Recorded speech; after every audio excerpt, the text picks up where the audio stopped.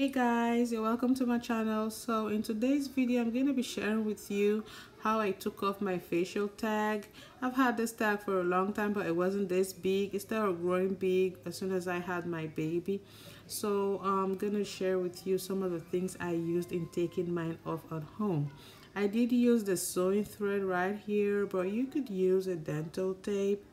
Um, I also used this um, spray um, cleansing spray right here. You could use an alcohol to clean it on daily basis to avoid it from getting infected. I also use this one gel to avoid um, pain and a pair of scissors to cut off the tape or thread or whatever you be using. So I did wash my face.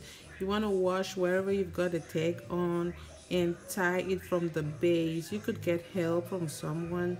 My husband helped me and you don't want to make it too tight.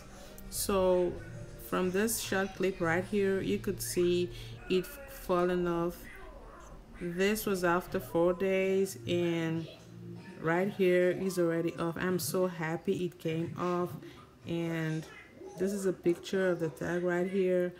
I did tie the first time it wasn't tight so my husband helped me. You don't want to make it too tight like i said.